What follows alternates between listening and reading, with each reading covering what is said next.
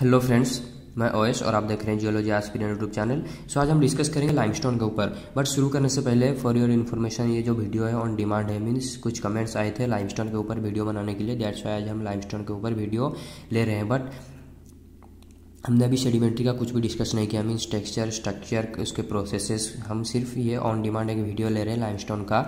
तो आप अगर ये वीडियो देख रहे हैं, आपका भी कुछ डिमांड है।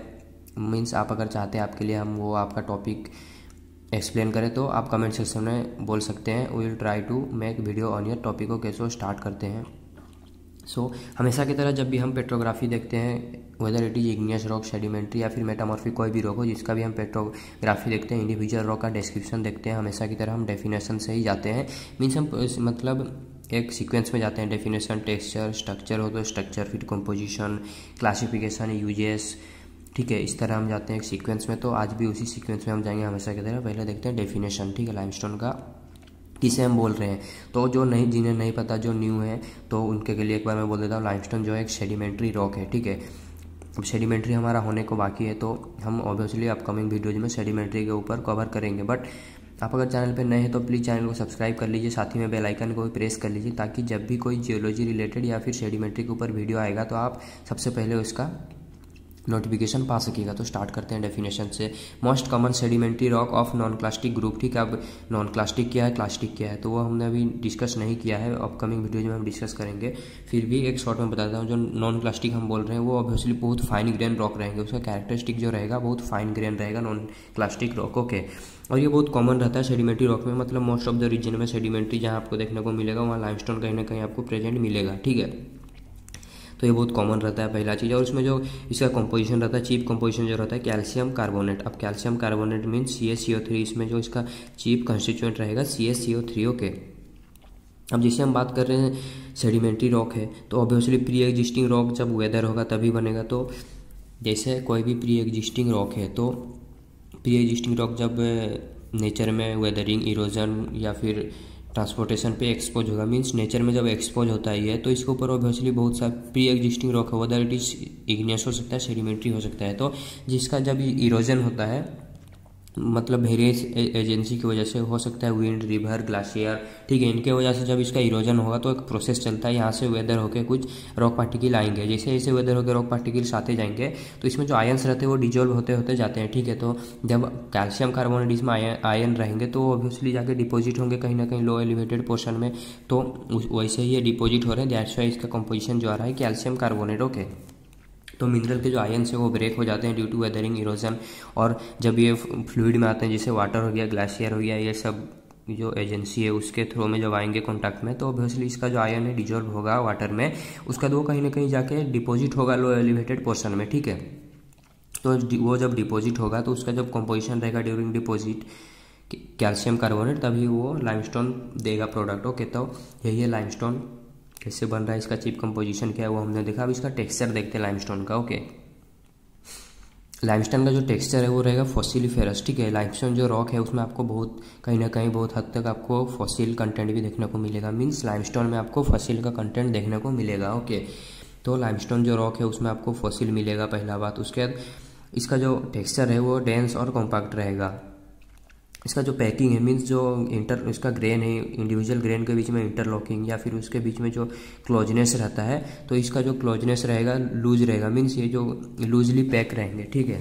और इसमें हाई पोरोसिटी देखने को मिलेगा। ऑब्वियसली जब लूजली पैक रहेंगे तो हाई पोरोसिटी जैसे एक रॉक है यहाँ पे तो उसके ग्रेन है। ग्रेन अगर मतलब लूजली मतलब पैक नहीं रहेंगे मीन्स बहुत ज़्यादा मतलब स्क्वीज होके रहेंगे या फिर कॉम्पैक्ट रहेंगे तो देखिए किस तरह वो अगर एक साथ मतलब लूजली पैक नहीं रहेंगे, ठीक है? अगर ये लूजली पैक नहीं है तो ये ऑब्वियसली इसका पैकिंग में बहुत क्लोजनेस है मीन्स टाइटली पैक्ड है ये तो यहाँ पर आपको पोरोसिटी देखने को नहीं मिलेगा but in case of loosely pack जहाँ पर वो लूजली पैक रहेंगे, एक दूसरे से मतलब ग्रेन के बीच में कॉन्टैक्ट नहीं रहेगा मीन्स थोड़ा इसमें गैप रहेगा, तभी हम इसे बोल सकते हैं पोरोसिटी मतलब इसमें पोरोसिटी देखने को मिलेगा due to its loose packing okay तो ये तो था। टेक्सचर के बारे में मीन्स यहाँ पर हमने क्या देखा लाइमस्टोन जो है एक कॉमन सेडिमेंट्री रॉक है जो भी नॉन प्लास्टिक है ठीक है फाइन ग्रेन रहेगा non plastic means fine grain रहेगा चिप कंस्टिट्यूएंट इसका है कैल्शियम कार्बोनेट अगेन वो फॉसिलीफेरस रहेगा ने, उसका नेचर जो रहेगा फॉसिलीफेरस कॉम्पैक्ट रहेगा हार्ड रहेगा डेंस रहेगा उसका टेक्सचर उसका जब पैकिंग का बात करते हैं तो लूजली पैकिंग रहेगा due to loosely packing high porosity ये दिखाएगा. उसका इसका कंपोजिशन के बारे में देखते हैं अब इसका कंपोजिशन क्या है? तो कंपोजिशन जो है लाइमस्टोन का, अभी हमने देखा वो चिपली जो कंस्टिट्यूएंट रहते हैं कैल्शियम कार्बोनेट तो सी ए ओ और C O two obviously calcium carbonate रहते हैं तो उसको हम बोल सकते हैं सी ए सी ओ थ्री ओ के और कुछ केसेस में इसमें देखा जाता है कि मैग्नीशियम का भी इम्प्योरिटी अब मैंने पहले ही बोला था चीप कॉन्स्टिट्यूएंट मीन्स चीप अगर चीप कॉन्स्टिट्यूएंट मीन्स कहीं ना कहीं मेजर अमाउंट में, अगर 90 या फिर 95 परसेंट भी अगर कैल्शियम कार्बोनेट है तो बचा तो 5 परसेंट ना 5 परसेंट और भी कुछ ऐड रहेंगे तो इसी तरह यहाँ पर मैग्नीशियम ऑक्साइड का जब इम्प्योरिटी इसमें कुछ ऐड होता है, ठीक है, बहुत टाइम और जब मैग्नीशियम ऑक्साइड का इम्प्योरिटी टू परसेंट एक्सीड कर जाएगा तो उस रॉक को ही हम बोलते हैं मैग्नीशियम लाइमस्टोन अब ये रॉक तो हम डिस्कस कर रहे हैं लाइमस्टोन के बारे में ओके अब इसे हम मैग्नीशियम लाइमस्टोन क्यों बोल रहे हैं? क्योंकि यहाँ पर कहीं ना कहीं मैग्नीशियम का इम्प्योरिटी मैग्नीशियम ऑक्साइड का इम्प्योरिटी जब रॉक में टू परसेंट से एक्सीड कर जाएगा तो उसी को हम टर्म दे रहे हैं मैग्नीशियम ऑक्साइड लाइमस्टोन ओके तो इसमें कन्फ्यूज़ होने का नहीं है। रॉक जो है major limestone but due to presence of magnesium oxide more than two percent इसीलिए हम उसको नेमिंग कर रहे हैं मैग्नीशियम लाइमस्टोन तो इसमें कुछ अमाउंट में मैग्नीशियम का इम्प्योरिटी भी देखने को मिलता है, और भी कुछ देखने को मिलते हैं। जैसे हम इसे क्लासिफिकेशन भी करते हैं वेरियस वेरियस टाइप में। अब अगर आप ट्वेल्थ के स्टूडेंट हो, अगर ये वीडियो देख रहे हो तो आपको सिर्फ़ डेफिनेशन टेक्सचर और कंपोजिशन एंड यूजेस के ऊपर पूछा जाता है, ठीक है? अगर आप ट्वेल्थ में हो but if you are in BSc या फिर एमएससी कोई भी एंट्रेंस के लिए प्रिपेयर कर रहे हो तो ऑब्वियसली आपको क्लासिफिकेशन का ज़रूरत है। बट ट्वेल्थ स्टूडेंट के लिए क्लासिफिकेशन कहीं नहीं पूछते हैं। ठीक है, ट्वेल्थ स्टूडेंट का मैंने सिलेबस देखा है। स्पेशली मैं बात कर रहा हूँ ओडिशा का। तो आपको लाइमस्टोन के ऊपर क्लासिफिकेशन के ऊपर कभी वो नहीं क्वेश्चन नहीं पूछेंगे। ठीक है, आपको सिर्फ़ उसका मतलब जनरल थिंग्स पूछेंगे जो कि आपको डेफिनेशन पता रहना चाहिए। टेक्सचर कॉम्पोजिशन उसका यूजेस दैट एन ऑफ़ ठीक है बट ये ट्वेल्व स्टूडेंट के लिए है। और स्पेशली मैं बोल रहा हूँ, जब ओडिशा रीजन में मीन्स ओडिशा के जो सिलेबस है, उसका हिसाब से। बट जब बात करेंगे हम बीएससी या फिर एंट्रेंसेस के लिए तो हाँ क्लासिफिकेशन को बहुत बार पूछा जाता है तो देखते हैं हम क्लासिफिकेशन क्या है। तो क्लासिफिकेशन में सबसे पहले आता है लाइमस्टोन का चौक अब चौक क्या है? चौक टर्म से आपको हिंट आ गया होगा डे टू डे लाइफ में जो हम चौक यूज़ करते हैं, या फिर टीचर्स जो यूज़ करते हैं ब्लैक बोर्ड में, या फिर एंशियन टाइम में यूज़ होता था मतलब कुछ ईयर पहले अभी मे भी मार्कर से समझाते होंगे, या फिर आजकल तो ऑनलाइन क्लासेस चल रहे हैं तो बहुत हद तक चौक का यूज़ कम गया है बट चौक भी क्या है ना, चौक जो है ब्लैक बोर्ड में जिससे लिखा जाता है, उसे हम यहाँ पर बोल रहे हैं चौक। ठीक आप चौक क्या देखते हैं क्लासिक मतलब लाइमस्टोन का किस टाइप ये टाइप है, किस टाइप में ये रहता है, क्या रहता है, इसका कैरेक्टर देखते हैं। प्रेजेंट फॉर्म ऑफ़ लाइमस्टोन ठीक है लाइमस्टोन सबसे ज़्यादा जो देखने को मिलता है चौक के रूप में, ठीक है और ये प्रेजेंट डे में ज़्यादा आपको अवेलेबल है। मीन्स प्रेजेंट डे में भी बहुत ज़्यादा अमाउंट में आपको चौक देखने को मिलता है। नेचर में, और इसका जो ग्रेन रहेगा फाइन ग्रेन रहेगा आरदी टेक्सचर रहेगा, ठीक है। इसका जो टेक्सचर रहेगा आरदी रहेगा, और इसका ग्रेन जो रहेगा फाइन ग्रेन रहेगा, ठीक। और कॉमन जो इसका कलर रहेगा वाइट रहेगा। अब आप सबने देखा होगा चौक जो कि यूज़ करते हैं टीचर या फिर पहले यूज़ भी करते थे, अभी भी करते होंगे मोस्ट ऑफ़ द कॉलेज में। तो कॉलेजेस स्कूल सब में अभी भी यूज़ करते हैं। तो वही है ये चौक उसी से लाइमस्टोन का एक वेराइटी है। इसी से जो, इसी से चौक बनता है जो कि यूज़ किया जाता है, ठीक है टीचिंग के लिए। तो ऑब्वियसली बहुत मतलब बहुत से बच्चे चौक को खा भी जाते हैं due to its earthy smell ठीक है, उसका स्मेल जो रहता है एर्दी की वजह से चौक को बहुत से बच्चे खाने भी लगते हैं, ठीक है? जैसे बारिश, ये जैसे अर्थ का सरफेस यहाँ पर अगर रेन गिरता है तो अगर मतलब स्लाइट रेन होगा तो जिस तरह एक आर्दी स्मेल आता है, उसी तरह चौक का भी स्मेल रहता है देर है बहुत से बच्चे उसे खाने भी लगते हैं मीन्स कहीं ना कहीं वो थोड़ा उसको खा लेते हैं, ठीक है? तो ये तो था चौक लाइमस्टोन का, अब नेक्स्ट देखते हैं। सेकेंड जो टाइप है लाइमस्टोन का सिली लाइमस्टोन है सेली लाइमस्टोन अब सेली लाइमस्टोन क्या ऑब्वियसली जो टर्म आ रहा है सेल सेल मीन्स कहीं ना कहीं हम बात कर रहे हैं जो हम पैलेंटोलॉजी में बहुत सारे देखते हैं फाइलम उसके अंदर जो रहते हैं, जैसे हमारे पास है बाइवाल्विया या फिर गैस्ट्रोपोड सेफालोपोड ओके इनके जो सेल्स रहते हैं ऑब्वियसली ये सेल्स से बनते हैं, इसीलिए हम इसे बोल रहे हैं सेली लाइमस्टोन ठीक है? Also called fossiliferous limestone obviously अब मतलब फॉसिल हम किसे बोलते हैं, जो हार्ड पार्ट प्रिजर्व हो जाता है। हार्ड पार्ट को ही तो हम बायोलॉजी मतलब टर्म देते हैं पैलेंटोलॉजी में मतलब सेल ओके तो ये सेल से बनता है। दैट्स वाई इसे हम टर्म दे रहे हैं। Shelly limestone also called fossiliferous limestone इसको फेसिलीफेरस लाइमस्टोन भी बोला जाता है। Assemblage of fossil that has fully और पार्टली प्रिजर्व ठीक है? और इसी सेरी लाइमस्टोन में आपको बहुत हद तक कहीं ना कहीं आपको देखने को मिलेगा। फॉसिल इसमें प्रिजर्व होकर रहेंगे, ठीक है? और when limestone preserved and made of of entirely of fossil it is called coquina हो गया अब कोकिना कब हम सेली लाइमस्टोन को ही एक कंडीशन आएगा जब हम उसे कोकिना बोलेंगे? कोकिना कब बोलेंगे? जब वो सेली लाइमस्टोन में फॉसिलीफेरस मीन्स या फिर फॉसिलीफेरस रहेगा या फिर सेल का जो कंटेंट रहेगा, या फिर आप बोल सकते हो उसमें बहुत अमाउंट में जब सेल प्रिजर्व रहेगा तो उसे ही हम टर्म दे रहे हैं कोकिना ओके अब कोकिना ये जो टर्म है, ये बहुत बार पूछा गया है डिफरेंट डिफरेंट यूनिवर्सिटी के एंट्रांसेस में ओके आप अगर देखते हो सागर यूनिवर्सिटी का क्वेश्चन पेपर प्रीवियस कुछ ईयर के तो आपको ये क्वेश्चन दो या तीन, दो से तीन बार में आपको रिपीट देखने को मिलेगा कि वो सिर्फ़ यही पूछते हैं कि कोकिना क्या है, ठीक है? मतलब वो दे देंगे मतलब which of the following is a type of limestone उसमें आपको तीन चार नेम दे देंगे, उसमें कोकिना भी रहेगा, ठीक है? और बाकी जो नेम रहेंगे, वो वो ऑब्वियसली लाइमस्टोन से बिलोंग नहीं करते रहेंगे। तो इस टाइप में भी क्वेश्चन आ रहा है। बट वो डेप्थ में नहीं पूछेंगे कि किस कंडीशन में हम उससे कोकिना बोलेंगे सेरी लाइमस्टोन से कोकिना कब कन्वर्ट हो रहा है, वो सब वो नहीं पूछेंगे, सिर्फ़ वो इतना पूछेंगे कि which of the following is a type of limestone और ये क्वेश्चन बहुत बार पूछा भी गया है मैं बोल रहा हूँ ओके सो आपको थोड़ा ये ध्यान देना है। और इसका अगर डेफिनेशन वगैरह नहीं भी याद रहा तो अभी चलेगा बट ये टर्म आपको याद रहना ज़रूरी है। इसी तरह, अब देखते हैं नेक्स्ट जो उसका टाइप है आर्जिलासियस लाइमस्टोन अब जैसे ही टाइम आ गया आर्जिलासियस टर्म आ गया तो ये टर्म से क्या पता चलता है, कहीं ना कहीं ये फाइन ग्रेन रहेगा। हमारे पास तीन टाइप के रहते हैं आर्जिला आर्जिलासियस आरेनासियस रूडासियस आर्जिलासियस जो रहता है, पूरा फाइन ग्रेन रहता है आरेनासियस थोड़ा सा कोर्स दिखाएगा रूडासियस बहुत ही ज़्यादा कोर्स रहेगा।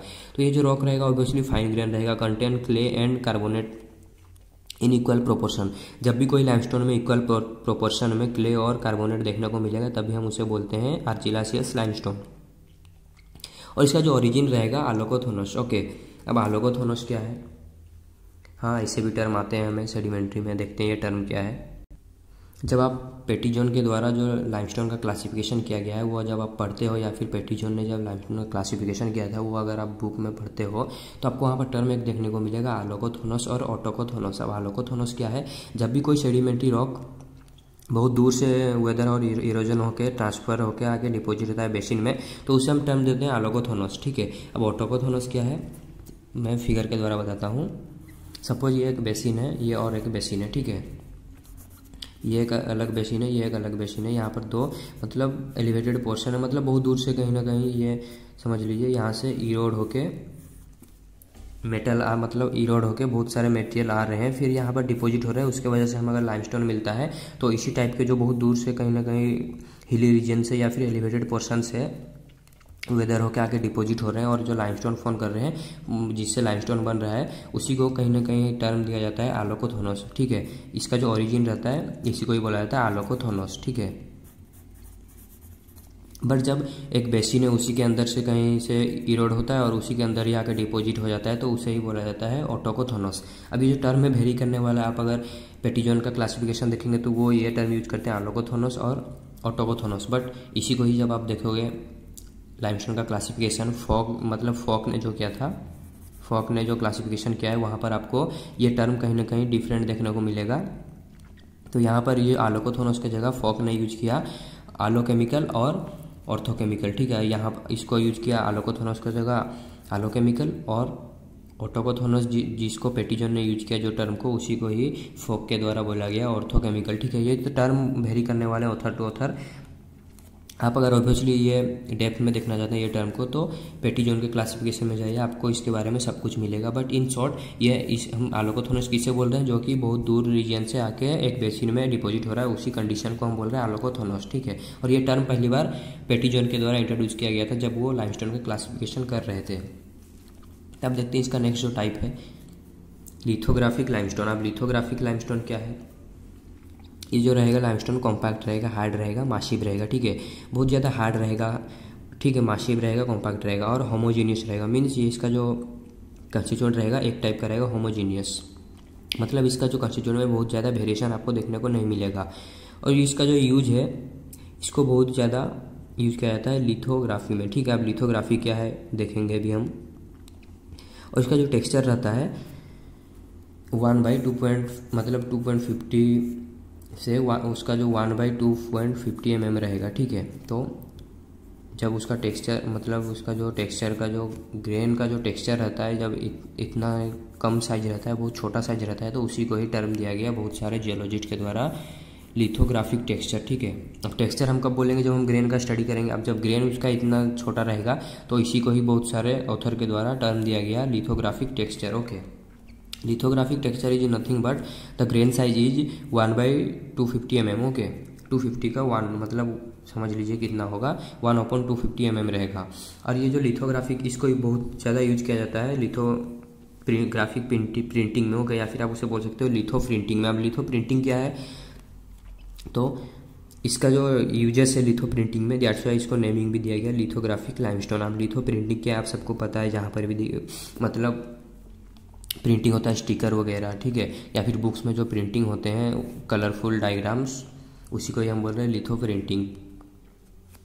अब जो नेक्स्ट टाइप है लाइमस्टोन का वो है कंकर। अब कंकर क्या है? ये जो टर्म है ऑब्वियसली ये इंडियन टर्म है, ठीक है? तो इसमें कंफ्यूज होने का नहीं है कंकर। कंकर जो सिंपली हम रॉक्स को बोलते हैं, हिंदी में जिसको हम कंकर बोलते हैं तो उसी के वजह से इसका नेमिंग आया। कंकर मीन्स यहाँ पर जो साइज़ रहेंगे ऑब्वियसली छोटे छोटे इस इस टाइप में उसका साइज़ रहेगा, ठीक है? जैसा इसको टर्म बोला जा रहा है कंकर, अब ये टर्म जो है हिंदी टर्म है कंकर, ठीक है? इसीलिए इसका टर्म भी दिया गया है उसके साइज़ के हिसाब से। और इसका जो ओरिजिन रहेगा नॉन मेराइन रहेगा, और ठीक है, कंकर जो रॉक है एक टाइप है, उसका ओरिजिन रहेगा नॉन मेराइन मीन्स ये मेराइन रीजन में कभी भी फॉर्म नहीं होगा। और ये फॉर्म कैसे हो रहा है? Form by the evaporation of subsoil water rich in calcium carbonate जब भी कोई वाटर मीन्स जब भी कोई सॉइल है, ठीक है? ये एक सॉइल है, इसका कंपोजिशन सी ए सी ओ थ्री है, ठीक है? अब इसमें कहीं ना कहीं मतलब ये तो सरफेस पे बट यहाँ पर बात किया जा रहा है सब सरफेस में। सब सरफेस में जब वाटर कंटेंट रहता है तो ये जब वाटर इवापोरेट हो जाएगा तो यहाँ पर जो भी बचेगा, उसे ही हम बोल रहे हैं कैंकर लाइनस्टोन ओके मीन्स जब भी कोई सॉइल में सी एस थ्री का कंटेंट ज़्यादा रहेगा, उसका तो उस मतलब लाइमस्टोन में वाटर जो रहेगा सब सरफेस रीजन में रहेगा, वो जब इवापोरेट हो जाएगा, उसी को ही हम टर्म दे रहे हैं कंकर लाइमस्टोन अब नेक्स्ट टाइप देखते हैं। नेक्स्ट जो टाइप है कैल्सिक सिंटर ओके मैं फिर से बोल रहा हूँ, जो ट्वेल्थ के स्टूडेंट अगर ये वीडियो देख रहे हैं, आपको टाइप्स याद रखने की ज़रूरत नहीं है बट जो ट्वेल्थ के ऊपर मीन्स बीएससी या फिर एमएससी एंट्रांसेस के लिए प्रिपेयर कर रहे हैं तो उनके लिए ये बहुत इंपॉर्टेंट है। तो नेक्स्ट जो टाइप है लाइमस्टोन का कैल्सिक सिंटर अब कैल्सिक सिंटर क्या देखते हैं? Form by the precipitation of carbonate rich spring water ठीक है? अब कार्बोनेट रिच जो भी स्प्रिंग वाटर रहते हैं, उसके वजह से ये बनता है। अब ये है क्या पहले देखते हैं, जैसे स्प्रिंग्स रहते हैं हमारे पास, जिसमें वाटर रहते हैं ड्राप होकर ठीक है? तो ऑब्वियसली वाटर कहाँ से आएँगे? मतलब रिवर वगैरह से जब वाटर आएँगे या फिर स्ट्रीम वगैरह से तो ऑब्वियसली वो बहुत रीजन देके आएँगे तो बहुत रॉक को वहाँ पर रॉक के साथ भी कोलाइड करके या फिर रॉक को वेदरिंग इरोजन करते हुए आएँगे। तो जब वो रॉक को वेदरिंग या फिर इरोजन कर रहे हैं तो रॉक में जो भी मिनरल है मिनरल में जो भी आनियन काटियन सब है काटियंस मतलब कार्बन रिच रहेंगे, ठीक है? तो आके स्प्रिंग में कहीं ना कहीं डिपॉजिट हो जाते हैं मीन्स ये एक वाटर ट्रैप होकर रहता है स्प्रिंग में तो वहाँ पर आके वो रह गए, ठीक है? अब जब टाइम के साथ वो वाटर इवापोरेट हो जाएगा प्रेसिपिटेट हो जाएगा तो वहाँ पर क्या रह जाएगा? जो मेटेरियल वाटर के साथ आया था डिजॉल्व होकर वो रह जाएगा, और इसी टाइप में जो डिपॉजिट हो रहा है, उसी को हम बोल रहे हैं कैल्सिक सिंटर ठीक है। Deposits are also known as इसको ही बोला जाता है ट्राइवर्टाइन या फिर कैल्सिक टब भी बोला जाता है। अब नेक्स्ट जो टाइप इसका जो देखते हैं टाइप्स तो हमने कंप्लीट कर लिया। अब देखते हैं इसका फॉर्मेशन ठीक है। अब जब फॉर्मेशन का बात आता है तो यहाँ पर बहुत सारे कॉन्ट्रावर्सीज चलते हैं, ठीक है ऑथर टू ऑथर तो इसके बीच में हमें नहीं जाना सिंपली हम इसका फॉर्मेशन देख लेते हैं देन यूजेस देखेंगे, ठीक है। फॉर्मेशन का जब बात करते हैं limestone have two different origin of या फिर इन्वायरमेंट ऑफ़ फॉर्मेशन ठीक है। लाइमस्टोन का जो इन्वायरमेंट है फॉर्मेशन का देख लेते हैं वो क्या क्या है इन सिंपल एक को टर्म दिया जाता है बायोथर्मल लाइमस्टोन और एक को बोला जाता है पेलाजिक लाइमस्टोन अब बायोथर्मल लाइमस्टोन क्या है? इसका हम देख रहे हैं फॉर्मेशन ठीक है? फॉर्मेशन में हमने दो टाइप में क्लासीफाई किया, बायोथर्मल और पेलाजिक लाइमस्टोन अब बायोथर्मल लाइमस्टोन क्या है? सीट लाइक अकोमुलेशन मतलब यहाँ पर जो लाइमस्टोन रहेगा सीट लाइक अकोमुलेट रहेगा, ठीक है? इस तरह। और ये जो रहेगा बायोजेनिक डिपोजिट मीन्स जो ऑर्गेनिज्म डेड हो जाते हैं, उनकी जो जो डेड होने के बाद उनका जो बॉडी रहता है या फिर उसे सेल बोलते हैं, उसके वजह से जो भी सीट लाइक में डिपॉजिट हो रहा है मतलब डिजर्व होकर आयन लाइमस्टोन, उसे ही हम बोल रहे हैं बायो मतलब बायोथर्मल लाइमस्टोन। और इस, ये प्रेसिपिटेड फ्रॉम लोकल सॉल्यूशन, ठीक है, सॉल्यूशन से प्रेसिपिटेड होता है, अदर लाइम सिक्रेटिंग एरिया से भी ये प्रेसिपिटेड होता है, ठीक है। तो ये बनता कैसे प्रेसिपिटेड फ्रॉम लोकल सॉल्यूशन, अब सॉल्यूशन कहाँ से आएगा? ऑब्वियसली जब ऑर्गेनिज्म डेड हो जाएँगे तो उनके जो सेल रहेंगे वो उसी से बन रहा है या फिर कहीं ना कहीं जो लाइम सेक्रेटिंग रीजन रहते हैं एरिया रहते हैं वहाँ से ये बनता है। और नेक्स्ट जो इसका फॉर्मेशन का टाइप है वो है पेलाजिक लाइमस्टोन अब पेलाजिक लाइमस्टोन क्या है? Form by the accumulation of limy secreting of floating type of sea organism मतलब सी ऑर्गेनिज्म जब डेड हो जाएँगे, जो वाटर में फ्लोट करते हैं, जब वो ज़िंदा रहते हैं बट उनका डेड हो जाने के बाद, सच आज इसका एग्ज़ाम्पल अगर लेंगे फोरामिनिफेरा जो कि एक माइक्रोफोसिल है, वो जब डेड हो जाएगा तो उसका जो भी बॉडी रहेगा, उससे लाइम ओबियसली सिक्रेट होगा, क्योंकि उसका जो बॉडी है होली ऑफ़ उसका जो बॉडी है लाइमस्टोन है मतलब कैल्शियम कार्बोनेट है। तो जब ये डेड हो जाएगा तो उसका जो बॉडी का जो पार्ट रहेगा ऑब्वियसली वो डिजॉल्व होगा या फिर मिलेगा वो जो सेडिमेंट्स में तो वहाँ पर उसका जो कंपोजिशन जो रहेगा, वो ऑब्वियसली जहाँ पर वो डिजॉल्व होगा वाटर में तो इसका कॉम्पोजिशन वहाँ पर आ जाएगा। तो उसके वजह से भी जो रॉक बन रहा है, उसे हम बोल रहे हैं पेलाजिक लाइमस्टोन और ये कैसे बनेगा? फ्लोटिंग कंडीशन में जो भी ऑर्गेनिज्म रहते हैं, वो डेड होने के बाद ये बनेगा। अब देखते हैं इसका कुछ यूजेस जो कि इंपॉर्टेंट है लाइमस्टोन उसका यूज़ के लिए ही बहुत फ़ेमस है। तो हमने देखा उसका यूज़ जो जिसे हम बोल रहे थे लिथिक लाइमस्टोन हम एक बोल रहे थे। ठीक है लिथोग्राफिक लाइमस्टोन जो हमारे पास था, वो हमें, हम लिथो प्रिंटिंग में यूज़ कर रहे हैं। ठीक है, उसके अलावा हमारे पास था आर्जिलासियस लाइमस्टोन उसको भी यूज़ किया जाता है सीमेंट इंडस्ट्री में, ठीक है? अब देखते हैं लाइमस्टोन का यूज़ आज फ्लक्स इन मेटालॉजिकल इंडस्ट्री, ठीक है? लाइमस्टोन जो है मेटालॉजिकल इंडस्ट्री में फ्लक्स के रूप में यूज़ किया जाता है। फ्लक्स के रूप में किस टाइप में यूज़ किया जाता है? मेटालॉजिकल इंडस्ट्री में जब भी कोई और को या फिर मिनरल को मेल्ट करते हैं, नेटिव मिनरल निकालने के लिए तो उसका जो भी और या फिर मिनरल रहता है, उसका जो मेल्टिंग पॉइंट रहता है हाई रहता है, ठीक है? तो वो मेल्टिंग पॉइंट को डिक्रीज करने के लिए लाइमस्टोन को फ्लक्स के रूप में यूज़ करते हैं। अब उसको यूज़ करने से क्या होता है ना, जो भी वो मतलब कोल से या फिर गैस से उसको हीट कर रहे हैं तो हीट कम अमाउंट में लगेगा। क्यों? अगर किसी भी रॉक का या फिर मिनरल का, किसी भी मिनरल का मेल्टिंग पॉइंट है, ये है, ठीक है? तो जब हम ऐड कर देंगे लाइमस्टोन ठीक है? लाइमस्टोन को ऐड कर देंगे आज ये फ्लक्स तो यहाँ पर क्या होगा? ये डिक्रीज हो जाएगा, ठीक है? ये जो रहेगा डिक्रीज हो जाएगा। अब ये डिक्रीज होगा तो ऑब्वियसली इंडस्ट्री वाले को फ़ायदा है। फ़ायदा कैसे है? क्योंकि जितना अमाउंट का उन्हें कोल या फिर गैस लग रहा था, इसका ओरिजिनल जो मेल्टिंग पॉइंट में आने के लिए तो उससे पहले वो आ जाएँगे तो ऑब्वियसली उनका कोल बचेगा। दैट्स वाई से यूज़ किया जाता है और उसको यूज़ भी किया जाता है पुट्टी के द्वारा। मतलब पुट्टी जो कलर मारते हैं मतलब बिल्डिंग्स में लाइमस्टोन से ऑब्वियसली पुट्टी भी बनता है, ठीक है? और पेंट इंडस्ट्री में लाइमस्टोन को भी यूज़ किया जाता है वाइट सीमेंट भी बनता है लाइमस्टोन से और पोरलेन सीमेंट भी बनता है, ठीक है? अब पोरलेन सीमेंट क्या है? जो सीमेंट कंस्ट्रक्शन वर्क के लिए यूज़ होता है, उसे ही बोला जाता है पोरलेन सीमेंट पोरलेन सीमेंट भी बनता है लाइमस्टोन से, अब पुट्टी जो कलर मारा जाता है उससे वो भी बनता है या फिर पेंट इंडस्ट्री में भी यूज़ होता है वाइट सीमेंट के रूप में भी यूज़ होता है।